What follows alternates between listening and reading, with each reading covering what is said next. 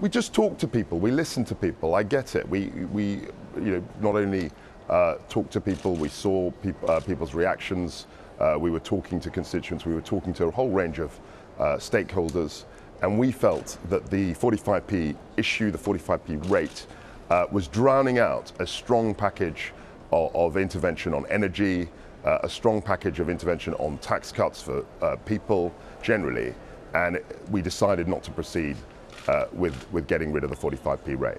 Uh, there's been a huge range of economic reforms announced in the package, and 95% of the package is 100% uh, what we're focused on. This 45p rate became a distraction, uh, and I, uh, along with the Prime Minister, decided that the best course of action uh, would simply be not to proceed with the abolition of the rate.